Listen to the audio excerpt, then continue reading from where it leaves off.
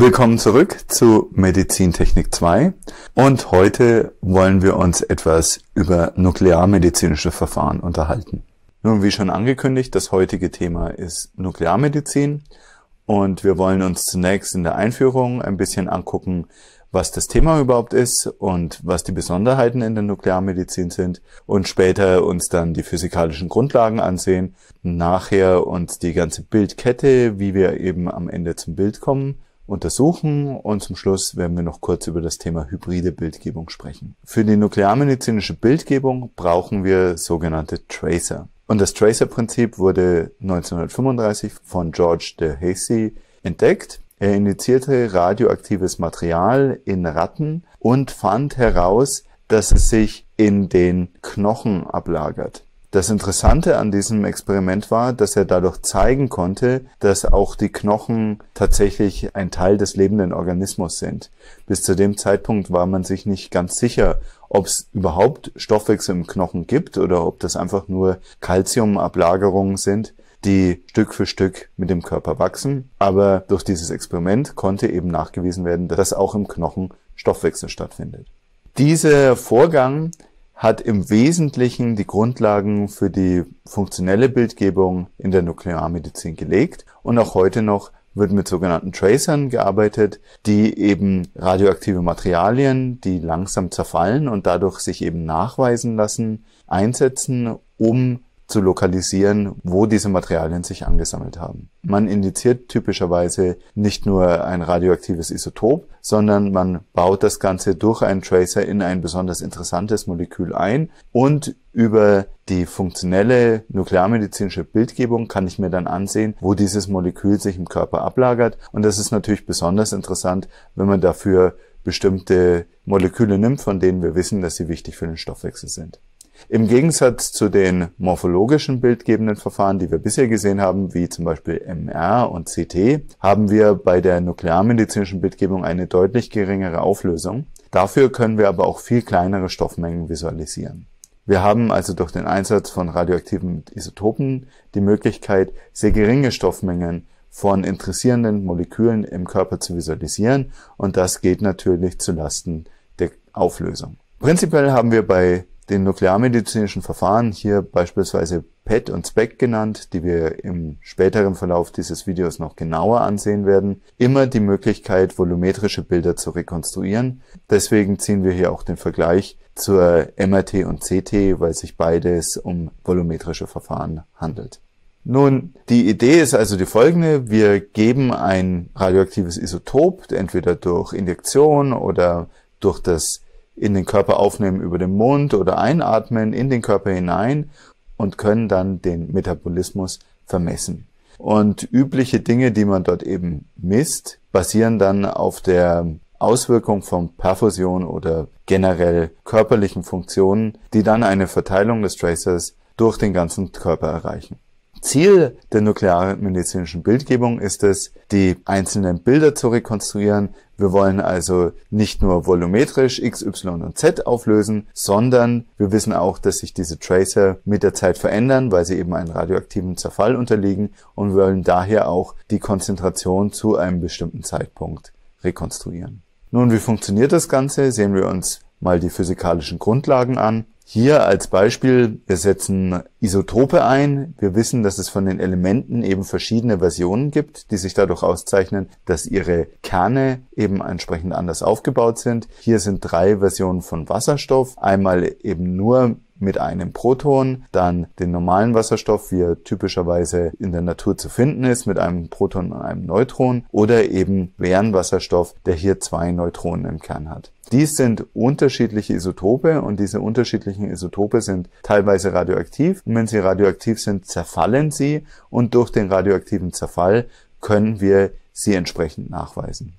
Beim radioaktiven Zerfall nutzen wir aus, dass manche Isotope nicht stabil sind und durch den radioaktiven Zerfall sich eben Stück für Stück verändern. Und beim Zerfall gibt es den sogenannten Alpha- und Beta-Zerfall, beziehungsweise dann auch das Einfangen von Elektronen, Isomertransitionen oder spontane Fusion. Wir haben nun hier in den meisten Fällen einen Alpha- oder Beta-Zerfall. Und die wichtigsten Isotope, die nuklearmedizinisch eingesetzt werden, könnt ihr in dieser Tabelle sehen. Also wir haben zum Beispiel Gammastrahlung, die auftreten kann. Das ist im Prinzip hochenergetische Röntgenstrahlung, sind Photonen, die typischerweise in der Diagnostik eingesetzt werden. Dann gibt es noch die Beta-Zerfälle, äh, Beta Plus und Beta Minus, weil hier dabei ein Elektron oder ein Positron entsteht. Das hier sind entsprechende Beta-Strahlungen, die zum Teil für die Therapie, aber zum Teil für die Diagnose eingesetzt werden. Also typischerweise der Zerfall durch Elektronen äh, hat nur eine sehr geringe Reichweite. Der Positronenzerfall findet in der Diagnostik seinen Einsatz, insbesondere weil das Positron dann eben entsprechend ausgelöscht wird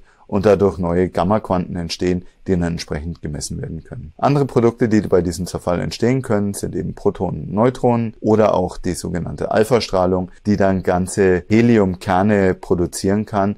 Diese finden sich hauptsächlich in der Therapie im Einsatz.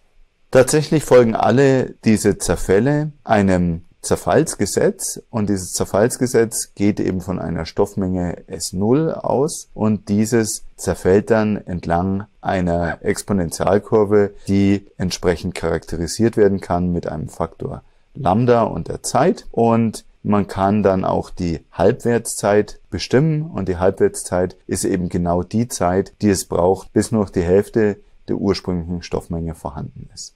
Die Aktivität entspricht der Zahl der Zerfälle pro Zeiteinheit und die Aktivität können wir zum Beispiel bestimmen über die Zeit als Lambda mal S0 mal E hoch minus Lambda t. Eine typische Einheit für Aktivität sind Becquerel und das sind die Zerfälle pro Sekunde. Eine ehemalige Einheit ist Curie, die aber nicht mehr in Europa eingesetzt wird, tatsächlich noch in den USA, das eben entsprechend von Becquerel umgerechnet werden kann. Und typische Aktivitäten in der Nuklearmedizin reichen von 100 Megabecquerel bis 1000 Megabecquerel. In der Therapie haben wir dann ein bis sieben Gigabecquerel. Wichtige Prinzipien für unsere Strahlensicherheit sind natürlich Aktivität müssen wir kennen. Die Zeit spielt natürlich auch eine wichtige Rolle, weil wir wissen, dass die ganze Radioaktivität mit der Zeit eben entsprechend geringer wird. Wichtig ist auch Distanz. Wie bei jeder Strahlung haben wir eben dieses Abstandsquadratsgesetz, dass wir eben je weiter wir weg sind, besser vor Strahlung geschützt sind. Und natürlich sind ganz wichtig Schutzmaßnahmen durch entsprechende Schilde, die eingesetzt werden können, um zum Beispiel kritische Organe abzudecken. Es werden hier also ganz häufig Bleischürzen und ähnliches eingesetzt, um die Auswirkungen der Radioaktivität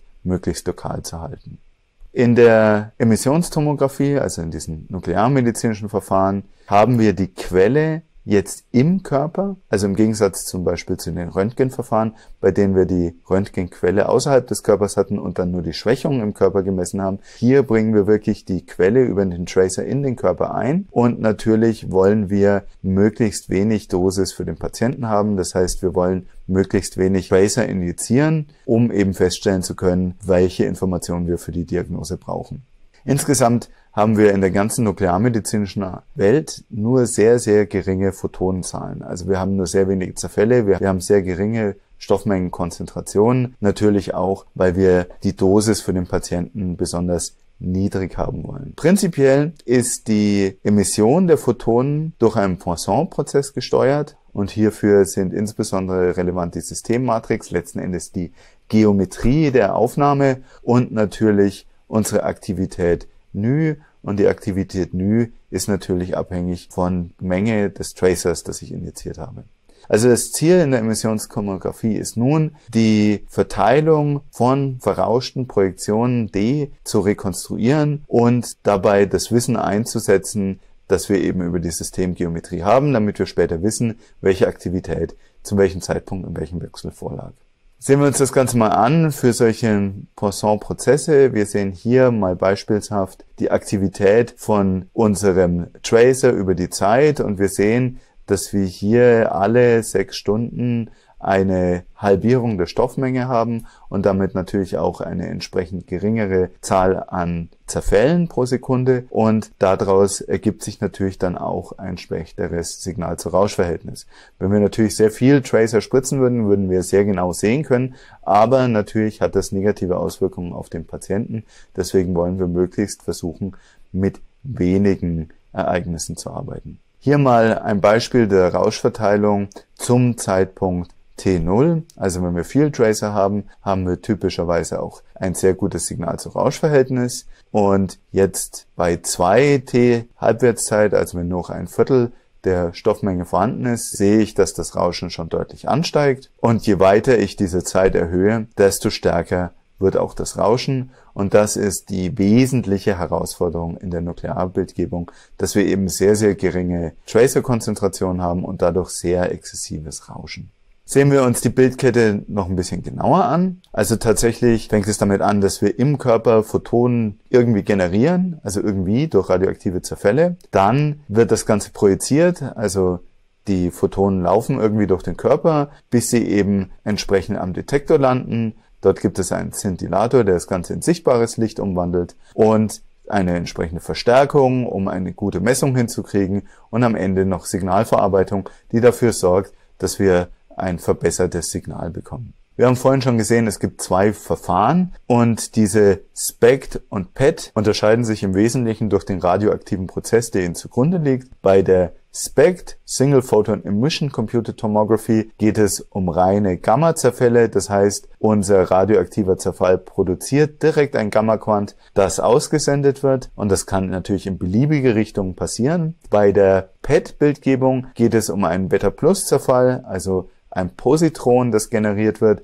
Das Positron kommt natürlich nicht sehr weit, weil es sich hierbei um Antimaterie handelt und deswegen löscht das Positron sich sehr schnell aus mit einem Elektron und bei diesem Vorgang entstehen wieder Gammaquanten, die wir später messen wollen. Aber diese beiden Gammaquanten entstehen genau in entgegengesetzte Richtung. Also Dadurch entsteht im Prinzip ein Zerfall, von dem ich nachvollziehen kann, auf welcher Verbindungslinie entstanden ist weil ich quasi an beiden Enden der Linie das Photon messen kann und damit weiß ich genau, hier wurde ein Zerfall gemessen, der irgendwo entlang dieser Linie passiert ist. Diesen Vorteil habe ich in der SPECT nicht. In der SPECT weiß ich nicht, in welcher Richtung dieses Gamma-Quant aufgetreten sein kann, weil das im Prinzip in jede Richtung hinfortfliegen kann. Für die Szintillation, also für die Umwandlung von Gammastrahlung in sichtbares Licht werden verschiedene Kristalle eingesetzt. Dabei gibt es eben verschiedene Konfigurationen, die für verschiedene diagnostische Zwecke nützlich sind, zum Beispiel Natriumiodid oder Wismut-Germaniumoxid oder auch Lutetium-Siliziumoxid. Diese Kristalle werden tatsächlich eingesetzt und es handelt sich dann bei natürlich um hochgradig zweckoptimierte Materialien. Wir sehen hier, dass sie sich in verschiedenen Kennzahlen maßgeblich unterscheiden und natürlich auch dadurch für verschiedene diagnostische Zwecke eingesetzt werden. Wir sehen, dass in der SPECT andere Materialien eingesetzt werden als in der PET-Bildgebung. Nun, wir haben in der SPECT-Bildgebung das Problem, dass wir nicht wissen, aus welcher Richtung unser Photon kommt. Daher werden Kollimatoren eingesetzt. Und die Idee des Kollimators ist quasi die, dass wir Lamellen auf unseren Detektor setzen, die hier entsprechend senkrecht dazu ausgerichtet sind. Und wenn ich jetzt aus einer bestimmten Richtung ein Photon empfangen würde, dann werden diese eben von den Lamellen aufgefangen und ich kann nur entsprechend aus senkrechter Richtung auf den Detektor auftreffen und damit kann man quasi feststellen, aus welcher Richtung dieses Photon kam und wir reduzieren die Sensitivität für Photonen aus anderer Richtung. Nun, das hat natürlich jetzt verschiedene Freiheitsgrade. Wir können die Lamellen unterschiedlich lang machen. Wir können die Löcher entsprechend größer machen. Wir können die Abstand zum Objekt entsprechend vergrößern und damit ergibt sich dann eine entsprechende Detektorantwort und diese Detektorantwort haben wir hier mal für einen typischen Kollimator dargestellt und wir sehen, dass hier häufig mit solchen wabenförmigen Kollimatoren gearbeitet wird und durch diese wabenförmigen Kollimatoren bekommen wir eben in die senkrechte Richtung dazu nochmal entsprechende Streuereignisse, weil eben in diese Richtung die Lamelle am dünnsten ist. Wir können uns auch mal so einen Kollimator ansehen. Hier ist so ein typischer Kollimator und wir sehen auch, dass diese Löcher alle sehr klein sind. Im Vergleich haben wir hier mal ein 1 Cent Stück daneben gelegt aber trotzdem sind es natürlich immer noch relativ große Aussparungen, wenn wir zum Beispiel mit den Detektorpixeln auf einer CT-Gantry vergleichen. Aber der Effekt ist eben genau der gewünschte.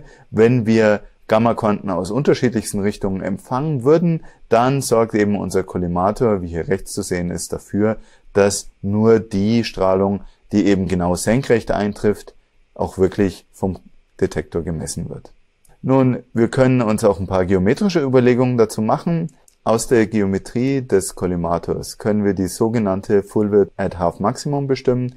Das gibt quasi die volle Breite ab der halben Maximumhöhe an und ist ein Maß für die Schärfe des Bildes, weil wir damit letzten Endes die Punktspreizfunktion analysieren. Und um das abschätzen zu können, brauchen wir letzten Endes den Wert d, der sich ja quasi durch die Größe des Kollimatorlochs ergibt. Und wir brauchen zusätzlich noch die Zahl r. Und r ist letzten Endes die Projektion der maximalen Breite eines Punktes im Raum, wie er eben entsprechend durch den Kollimator dargestellt werden kann. Und wir sehen, dass wir die Quantität r eben berechnen können über zentrische Streckung und bekommen dann am Ende die entsprechende Formel r ist gleich d durch l mal Klammer auf z plus l halbe Klammer zu. Und damit können wir quasi schon beim Design des Kollimators uns überlegen, wie hoch die Auflösung entsprechend sein kann. Und natürlich wird diese Quantität besser, je länger wir natürlich unsere Lamellen machen. Also wenn wir die Lamellen länger machen, dann haben wir natürlich eine bessere Auflösung. Aber lange Lamellen bedeuten auch, dass mehr Photonen von ihnen absorbiert werden, weil sie eben mit einer höheren Wahrscheinlichkeit diese kreuzen. Und dadurch ergibt sich eben der Effekt, dass wir die Länge der Lamellen mit der Photonenzahl irgendwie ausgleichen müssen. Das heißt, wenn wir nur wenige Photonen haben, dann können wir die Lamellen eben nicht so lange machen, weil wir ansonsten kaum noch ein Signal messen. Und damit brauchen wir natürlich entsprechende Konfigurationen und das führt dann zu verschiedenen Einstellungen, die wir jetzt hier auf der nächsten Folie sehen. Also es gibt quasi sogenannte Niedrigenergie für Allzweck-Kollimatoren, die wir hier in der ersten Spalte sehen. Dann gibt es Kollimatoren mit hoher Auflösung, die eben entsprechend kleinere D haben. Und dann gibt es entsprechende ultra hochauflösende Kollimatoren, die dann längere Lamellen haben. Und diese Werte kann man eben gegeneinander ausgleichen, um entsprechende unterschiedliche Konfigurationen von Kollimatoren zu erreichen. Sehen wir uns hier das Ganze nochmal in einem schematischen Aufbau an. Hier sehen wir nochmal schematisch den Kollimator und wie danach entsprechend der Detektor geschaltet ist. Und wir sehen, dass quasi hier erst der Kollimator kommt, dann der Szintillatorkristall, der das Ganze in sichtbares Licht umwandelt und am Ende ein Fotomultiplikator, der dann die entsprechende Messung durchführt. Das ist im Wesentlichen Aufbau der Gammakamera. Mit dieser Gammakamera können wir dann quasi verschiedene Photonen messen. Diese werden dann nochmal vorverstärkt, integriert und am Ende können wir sogar die Höhe der einzelnen Impulse messen und damit dann nicht nur die einzelnen Events messen, wann tatsächlich ein Photon eingetroffen ist, sondern wir können auch messen, wie viel Energie das Photon hatte. Das ist jetzt auch wieder ein Unterschied zur Röntgenbildgebung, in dem wir eben große Probleme hatten, unterschiedliche Energien zu messen, in der nuklearmedizinischen Bildgebung haben wir so wenige Ereignisse, dass wir also relativ gut die einzelnen Ereignisse messen können und dabei sogar die Energie analysieren. Und wenn wir das kennen, dann haben wir natürlich einen großen Vorteil, weil wir, wenn wir hier die Energie auftragen, dann sehen wir, dass die Photonen, die das eigentliche Signal enthalten, energetisch höher sind als Photonen, die zum Beispiel das Streustrahlsignal haben, weil hier durch die Streuereignisse Energie verloren geht. Und anhand dessen können wir quasi schon allein an der Energie unterscheiden, welches Photon direkt erzeugt wurde und welches Photon tatsächlich über Streuereignisse zu uns gekommen sein muss. Auch sehr spannend ist natürlich, dass wir nahezu monochromatische Photonen hier haben, insbesondere im Fall der PET-Bildgebung, weil wir hier natürlich genau zwei Photonen haben, die genau 511 Kiloelektronenvolt Energie haben. Das heißt, wir haben de facto eine monochromatische Quelle hier und können damit sehr, sehr genau Streustrahlung von Primärstrahlung unterscheiden. Nun Schauen wir uns mal so ein Beispiel an. Das ist eine planare Szintigraphie und bei der planaren Szintigraphie setze ich quasi hier so einen Speckdetektor ein. Oben der Kollimator, unten noch ein zweiter Kollimator und Detektor. Also wir nehmen hier quasi zwei Bilder gleichzeitig auf, eins von vorne, eins von hinten. Und aus diesem Grund kriegen wir dann auch zwei Bilder und wir sehen, dass sich die beiden Bilder unterscheiden. Obwohl sie quasi aus derselben Geometrie parallel aufgenommen werden, sind die Bilder nicht gleich und das liegt natürlich daran, dass die Photonen erstens durch unterschiedliches Material hindurch mussten und die Quelle natürlich nicht auf der anderen Seite liegt, sondern mitten im Körper liegt. Und dadurch ergeben sich hier unterschiedliche Abbildungen. Was ist noch spannend? Wir haben auch die Möglichkeit natürlich um den Körper herum zu rotieren und durch die Rotation um den Körper ist es dann eben auch möglich, so einzelne Herde hier zu lokalisieren. Wir haben einen deutlichen Unterschied zur Röntgenbildgebung, weil wir letzten Endes die Quelle im Körper haben und dadurch die Aktivität eben, die aus einem Voxel kam, multipliziert mit dem Beitrag dieses Voxel zum aktuellen Detektorpixel und das Ganze aufintegriert. Also es ist vergleichbar. Wir haben auch eine Integralgleichung, die wir hier entsprechend lösen müssen, aber die Quellen liegen eben entsprechend irgendwo im Körper. Das Ganze ist etwas leichter, wenn wir uns die PET-Bildgebung anschauen. Bei der PET-Bildgebung haben wir eben diesen Effekt, dass wir beim Zerfall zwei Gamma-Quanten erzeugen, die genau gegengesetzte Richtung fliegen. Und dadurch ist es jetzt möglich, auf so einem Ringdetektor gleichzeitige Ereignisse zu detektieren und dadurch wissen wir dann, auf welcher Linie dieser Zerfall stattgefunden haben muss. Für die Rekonstruktion kann man beispielsweise auch Filtered Back Projection einsetzen, also das Verfahren, das wir uns auch in der CT angeguckt haben. Aber wir haben eben hier sehr schlechte Rauscheigenschaften, weswegen es dann besser ist, mit iterativen Verfahren zu rekonstruieren, weil wir hier direkt die Statistik des Rauschens mitmodellieren können und einen physikalisch korrekten Vorwärtsprojektor einsetzen können, der uns eben bessere Bilder rekonstruieren kann. Tatsächlich funktioniert das bei der iterativen Rekonstruktion dann so. Wir haben letzten Endes zwei Teile. Wir haben einmal die Zielfunktion, die uns sagt, wie die Aktivität und die Voxel miteinander zusammenhängen, wie die Geometrie ist und wie sie zu den Daten führen, die wir dann später gemessen haben. Und das Ganze ist letzten Endes auch ein inverses Problem. Das heißt, wir wollen dann diese Zielfunktion invertieren, um dann die eigentliche Aktivität wieder zurückrechnen zu können. Und das passiert dann über eine Optimierung und die wird dann iterativ verbessert, so lange bis wir eben nah genug an der richtigen Lösung sind. Schauen wir uns das Ganze ein, wie das funktioniert. Das Ganze können wir natürlich auch über einen Poisson-Prozess wieder modellieren und dann hätten wir im Idealfall, ne, wenn unser Detektor immer genau einen Voxel messen würde, dann wäre es eben so, dass wir am Detektor genauso eine Poisson-Verteilung bekommen würden und diese Poisson-Verteilung entspricht genau der erwarteten Aktivität eben in diesem Voxel. Da ist die Rekonstruktion auch nicht so schwierig, weil wir letzten Endes direkt das messen, was wir haben wollen. Und hier ist unsere Systemmatrix letzten Endes einfach nur eine 1, weil wir genau das messen, was wir bekommen. Tatsächlich ist unsere Geometrie etwas schwieriger, weil wir ja jetzt an jedem Detektorelement aus verschiedenen Voxeln Beiträge bekommen. Und die Voxel haben natürlich nicht immer volle Beiträge. Also manchmal messe ich nur einen Teil von einem Voxel, manchmal messe ich etwas mehr und dadurch ergibt sich eben dieses Verhältnis, dass ich jetzt nicht direkt das Nü einsetzen kann, sondern ich habe eben Nü mal den Beitrag zu dem entsprechenden Pixel auf dem Detektor und dann messe ich letzten Endes die Summe über alle Ereignisse, die an diesem Detektorpixel gemessen werden. Und das passiert natürlich an allen Detektorpixeln gleichzeitig. Und die Lösung dieses Problems ist dann letzten Endes die Rekonstruktion des Bildes.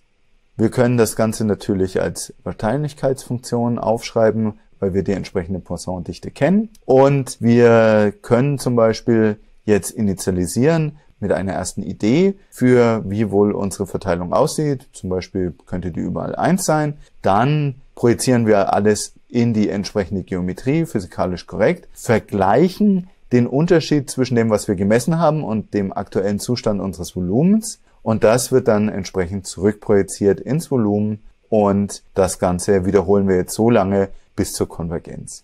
Wir haben diese Algorithmen auch noch ein bisschen mehr Detail im Skript stehen. Und wenn ihr dort noch ein bisschen genauer reinlesen wollt, schaut doch mal ins Skript. Dort stehen auch noch die ganzen Details, wie man die Algorithmen dann auch tatsächlich aufschreiben kann und dann auch implementieren kann. Hier in diesem Video werden wir darauf erstmal verzichten.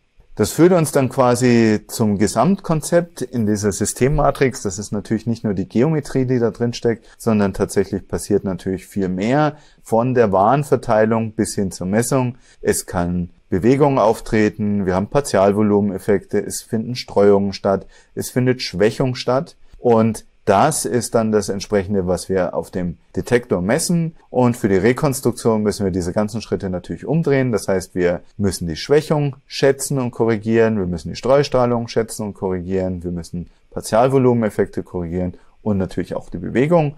Und dann kriegen wir tatsächlich die gemessene Verteilung. Einen möglichen Algorithmus hierfür kann man entsprechend formulieren. Das heißt, wir brauchen irgendwie ja auch eine Idee von der Schwächung, die in dem Körper stattfindet. Und da ist es natürlich toll, wenn wir zum Beispiel eine CT-Aufnahme haben, weil die ja letzten Endes genau die Schwächung misst, die uns interessiert. Dann können wir aus der CT-Schwächung berechnen, wie die Schwächung wäre, wenn wir entsprechend Photonen mit 511 Kiloelektronenvolt hätten. Das kann man aus dem CT-Bild ganz gut schätzen. Das können wir vorwärts projizieren. Dann vergleichen wir das mit dem entsprechenden Datenmodell und nehmen unsere eigenen Speckdaten. Diese Speckdaten korrigieren wir dann um das Schwächungsmodell, können einen Fehler schätzen, rückprojizieren, ein Volumen schätzen und das entsprechend wieder vorwärts projizieren und dann iterieren wir so lange, bis wir konvergieren. Also ähnlich den iterativen Rekonstruktionsverfahren, wie wir schon bei der CT gesehen haben.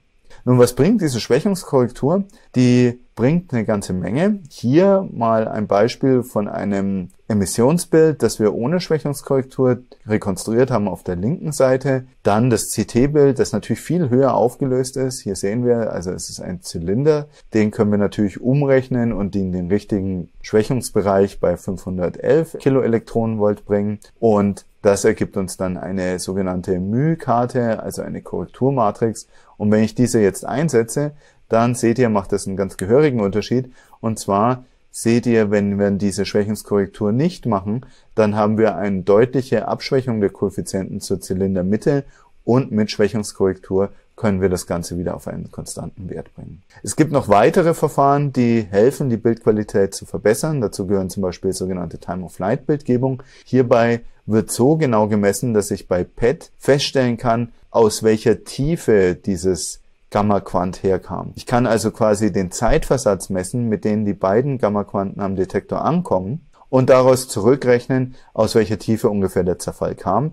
Und damit bekomme ich dann nicht nur eine Rückprojektion, sondern, was ja sonst nur ein Verschmieren in die entsprechende Projektionsrichtung wäre, nein, ich bekomme auch schon eine deutliche Tiefenauflösung und damit kann ich eben mit weniger Messungen und weniger Projektionen schon viel bessere Rekonstruktionen machen. Ja, was sind die typischen Fragestellungen in der Nuklearmedizin? Ja, häufig geht es darum, Lokalisierung, Wachsen von Tumoren, Suchen nach Metastasen und eben Therapiekontrolle. Also sehr häufig werden diese Verfahren bei der Behandlung von Krebs eingesetzt und da ist es natürlich dann auch klar, dass man eben akut Krebsereignisse hat, die man behandeln möchte und man auch gar nicht mehr so große Sorgen hat, was jetzt bei dem Patienten passiert, wenn der jetzt von aufgrund der Strahlung in 10 Jahren oder in 15 Jahren Krebs entwickelt. Naja, der hat schon Krebs und wir müssen jetzt akut was unternehmen und entsprechend hier eine Behandlung herbeiführen, weil sonst der Patient gar keine zehn Jahre mehr lebt. Es gibt aber auch andere Verfahren, zum Beispiel bei der Epilepsiediagnose, Alzheimer, Schlaganfall und Ischämie, wie auch in der Kardiologie, wo es um die Perfusion des Myokardiums geht, des Herzmuskels oder auch bei anderen Ischämien im Herzmuskel. Ja, und dann gibt's natürlich auch pharmakologische Forschung, wo wir eben spezielle Tracer zusammenbauen und dann die Wirkungsweise und Effektivität von solchen Pharmazeutika beurteilen möchten. Hier ein kleines Beispiel für einen Hirntumor, der entsprechend lokalisiert wurde. Rechts das PET-Bild, links das MRT-Bild und dann kann ich quasi diese beiden Bilder ins selbe Koordinatensystem bringen durch eine sogenannte Bildfusion und mit der Bildfusion kann ich dann auch sehr viel schöner beurteilen, was die Anatomie im Hintergrund ist und wo es genau lokalisiert ist, um zum Beispiel eine Intervention vorzubereiten. Deswegen sind solche Hybrid-Installation eigentlich Stand der Technik. Also wir haben fast nie einzelne nuklearmedizinische Bilder, sondern immer das Ganze noch mit einem morphologischen Bild unterlegt, damit man es eben in den anatomischen Kontext bringen kann. Hier bei der Herzbildgebung genauso Stand der Technik. SPECT-Scanner findet man eigentlich gar nicht mehr einzeln, sondern man findet immer SPECT-CT-Scanner, die eben solche hybriden Bilder aufnehmen können. Wie sieht's mit der Dosis aus? Naja, also je nachdem, wo ich Bildgebung mache, zwischen Schilddrüse, Gehirn, Lunge, Leber, auch Nieren oder Knochen finden wir doch relativ große Unterschiede in der Dosis, aber tatsächlich sind wir hier in der Größenordnung von Milligray und die Dosis ist natürlich am höchsten in dem Organ, wo das Ganze untersucht wird und man versucht dann natürlich die Kollateraldosis auf andere Organe möglichst gering zu halten. Trotzdem muss man entsprechend Abstand von den Patienten halten, weil wir auch immer noch bei einem Meter Abstand entsprechend starke Dosis erhalten können. Das heißt, weil wir den Tracer natürlich in den Patienten gegeben haben, strahlt der Patient selber noch eine ganze Zeit lang Nachgabe des Tracers und muss deswegen auch speziell abgeschirmt werden. Die meisten Tracer bleiben auch nicht im Körper, bis sie komplett zerfallen sind, sondern diese werden dann auf natürlichem Wege wieder ausgeschieden, so dass man dann meistens schon nach wenigen Stunden nach der entsprechenden Diagnostik wieder größtenteils frei ist von solchen Radionukleiden. Ja, das führt uns zum Thema hybride Bildgebung und bei der hybriden Bildgebung haben wir eben solche SPECT-CT-Scanner im Einsatz und hier ist jetzt die Idee, dass wir eben auf derselben Gantry zwei Modalitäten messen können. Wir können also das SPECT-Signal messen, was typischerweise auch relativ lange gemessen wird, also bis zu 20 Minuten und dann können wir quasi zwischendrin noch 20 Sekunden Spiral-CT machen, um entsprechend hohe aufgelöste Bilder zu bekommen, die wir dann überlagern können. Und der große Vorteil ist, dass der Patient eben auf demselben Bett liegt, nicht aufstehen muss. Wenn er einmal aufsteht und ich mache irgendwie Bildgebungen im Abdomen, dann liegen nachher die Organe beim erneuten Hinlegen völlig anders und das macht eben die Überlagerung sehr schwierig. So muss der Patient nicht von einem Scanner zum anderen laufen und wir kriegen die Bilder direkt aufgenommen. Nun, CT hat natürlich eine entsprechende Strahlendosis, wird aber auch in Kombination mit PET eingesetzt. Eleganter ist es, wenn man einen PET-MR-Scanner einsetzt, wie hier dargestellt. Auch hier können wir beide Systeme auf dieselbe Gantry bringen und damit lassen sich dann eben multimodale Bildgebung von PET und MR gleichzeitig messen. Und das Schöne ist, dass wir eben bei der MR-Bildgebung keine zusätzliche Strahlung für den Patienten haben. Allerdings haben wir natürlich ein Problem. Wir brauchen Schwächungskoeffizienten und die Schwächungskoeffizienten des Röntgen, die kriege ich natürlich nicht mit einem MR-Scanner gemessen. Aber es gibt Approximationsverfahren, die dann viele unterschiedliche MR-Sequenzen einsetzen um entsprechende CT-ähnliche Schwächungskarten bestimmen. Tatsächlich läuft es dann darauf, dass wir versuchen, letzten Endes ein Knochenbild, ein Wasserbild und ein Luftbild zu erzeugen. Und aus diesen drei Materialien kann ich dann schon ganz gute Schwächungsbilder konstruieren. Nun, ich hoffe, euch hat dieses Video zur nuklearmedizinischen Bildgebung Spaß gemacht und wir sehen uns im nächsten Video, wenn wir uns noch weitere Modalitäten ansehen. Vielen Dank fürs Zuhören und auf Wiedersehen.